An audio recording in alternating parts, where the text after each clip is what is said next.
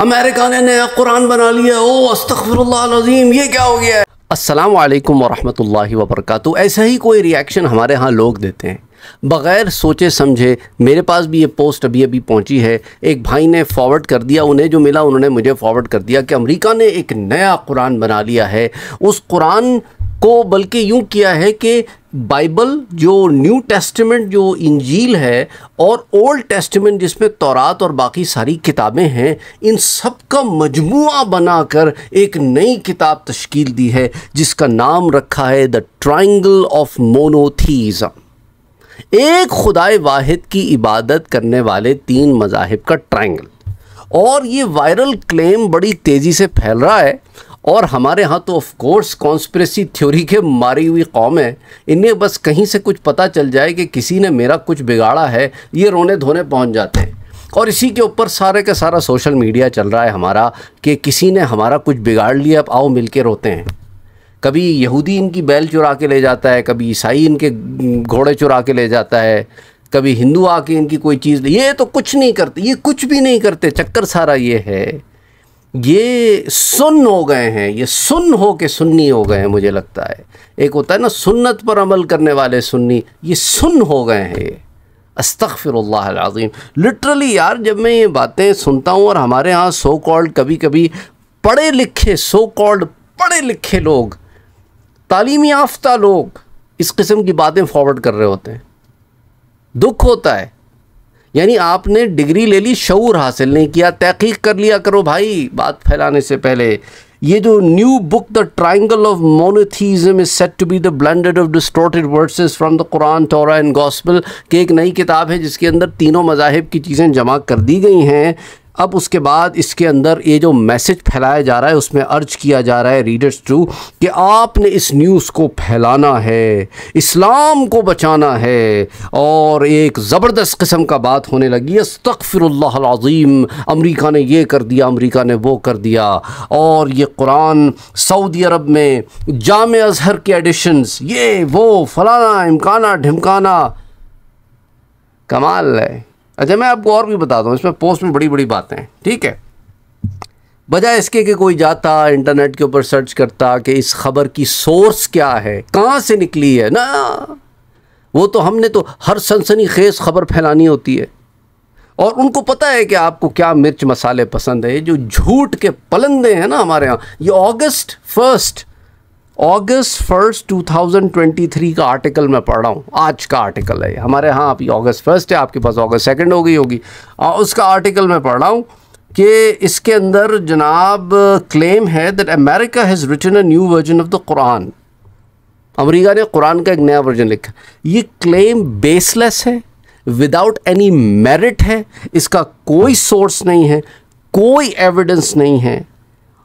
देखिए कुरान करीम मुसलमानों की किताब, जिसे हम फॉलो नहीं करते, जिसके बताए हुए असूलों पे हम नहीं चलते। किसी को हमें गुमराह करने के लिए कोई नई चीज़ बनाने की ज़रूरत नहीं, हम ऑलरेडी गुमराह हो चुके हैं। हम गुमराह हैं।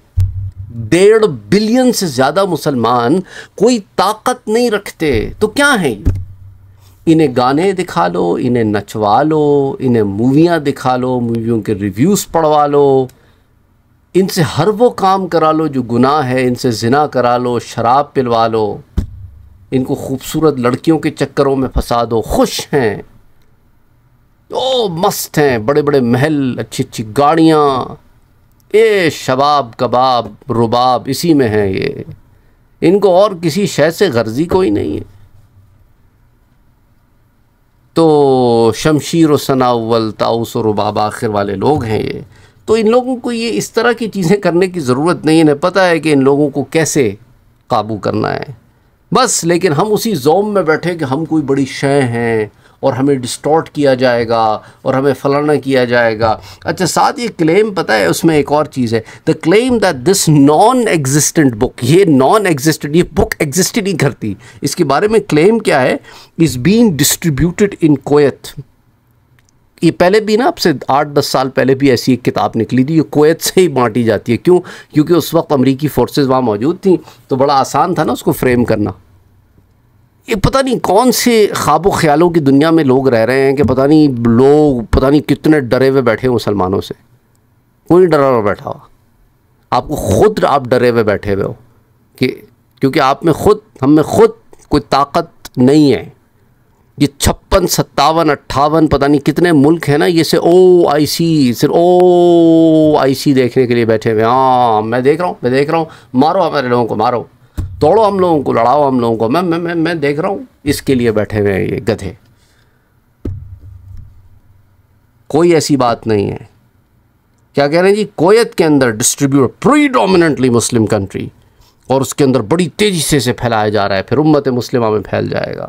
उम्मत मुस्लिमा में कैसे फैलेगा? उम्मत मुस्लिमा को तो पढ़ना लिखना ही नहीं आता। यहाँ तो यहाँ तो पढ़ाई लिखाई से फारग हैं। एक दो अंग्रेज़ी के अल्फाज मैं यूज़ कर लूँ तो मेरे गले आ जाते हैं ये लोग। इसी चैनल के ऊपर। अंग्रेज़ी इस्तेमाल कर लिया आपने। क्योंकि अंग्रेज़ी के ऊपर क्या मतलब? कोई काफिरों की ज़बान है? क्या मसला क्या है भाई? कहाँ रह रहे हो यार आप लोग? अट्ठारहवीं सदी में हो? कौन सी सदी में रह रहे हो? यहाँ इतने बड़े बड़े लोग मुसलमान जो हो रहे हैं, अंग्रेज़ी बोलते हैं। तो क्या अब वो अपनी ज़बान पहले नई ज़बान सीखें उसके बाद मुसलमान हो? पता नहीं कौन है यार किसने पढ़ाया है इन लोगों को? लिटरली मुझे बड़ी तकलीफ़ होती है मैं जब इस तरह की बातें सुनता हूँ ना तो कौन हो भाई आप लोग? टी शर्ट क्यों पहनी हुई है आपने? कमीज क्यों नहीं पहनी? अच्छा भाई ये वाली टोपी क्यों पहनी हुई है? वो ये, ये वाली टोपी क्यों नहीं पहनी? ये वाली टोपी क्यों नहीं पहनी? अरे आप बगैर टोपी के आ गए? अरे बगैर टोपी के आप कैसे आ गए? इसी में फंसे हुए हैं। ये पता है क्या है?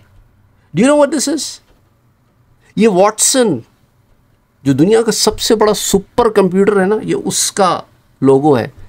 ये मुझे आईबीएम वालों ने दिया है। क्योंकि मैं आईबीएम के साथ इन्वॉल्व हूँ।